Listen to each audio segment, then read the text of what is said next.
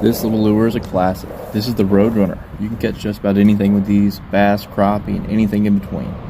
So I'm out here looking for white bass. And I previously was using jigs, and they just weren't getting hit.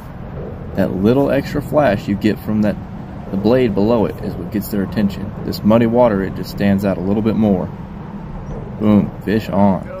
And these little guys fight hard. So when they get bigger, they can just run drag on these crappie rods. This one's a decent size, about a pound and a half. They can get over three pounds. That's a big one. Another decent one.